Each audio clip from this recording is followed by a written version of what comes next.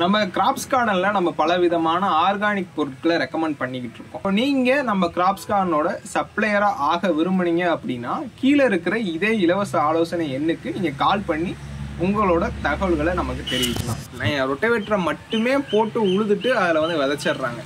ஆனால் அது சரியா அப்படின்னு கேட்டால் அது உங்களுக்கு தான் நஷ்டத்தை கொண்டு வருது. நீங்கள் வந்து அந்த உழவுறத்துக்கு வந்து காஸ்ட் ஆகுதே அப்படின்னு நீங்கள் நினைக்கிறீங்க.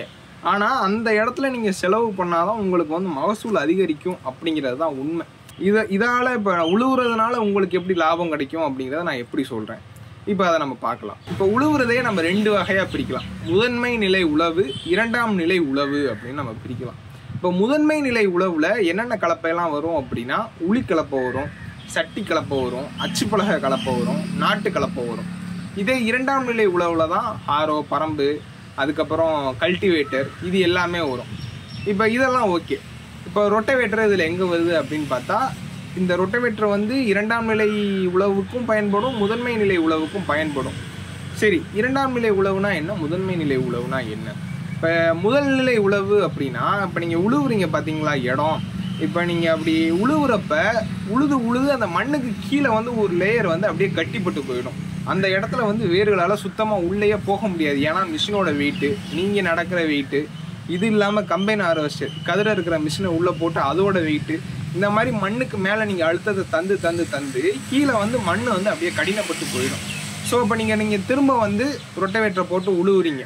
அப்படி உழுவுறப்ப அந்த ரொட்டவேட்டரோட ஆழம் வந்து ரொம்ப கம்மியாக தான் போகும். இந்த ரொட்டவேட்டரோட ஆழம் அப்படிங்கிறது வந்து வெறும் பன்னெண்டு சென்டிமீட்டருக்கு தான் மண்ணை வந்து வெட்டி வெட்டி உங்களுக்கு தள்ளும்.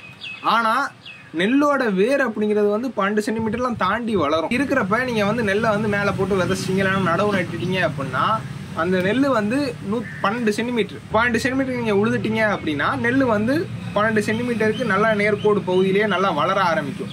ஆனால் பன்னெண்டு சென்டிமீட்டருக்கு கீழே மண் நல்லா கடினப்பட்டு இருக்கிறப்ப வேறால உள்ளே போக முடியல அப்படின்னா இங்கே இருக்கிற ஒரு நெல் இங்கே இருக்கிற ஒரு நெல் பயிர்.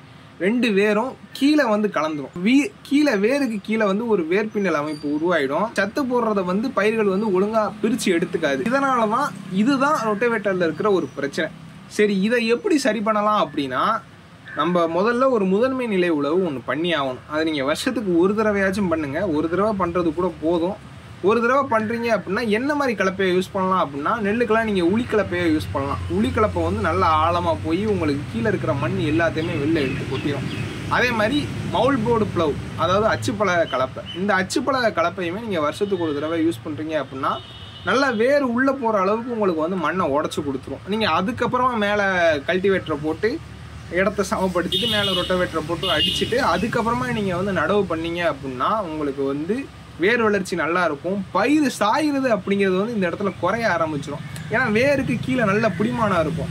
வேர் வந்து நல்லா உள்ளே போகாததுனால தான் உங்களுக்கு பயிர் சாயவே ஆரம்பிக்குது. இந்த மாதிரி நம்ம சின்ன சின்ன உழவு முறைகளை பயன்படுத்தியே நம்மளால் ம மகசூலை அதிகரிக்க முடியும்.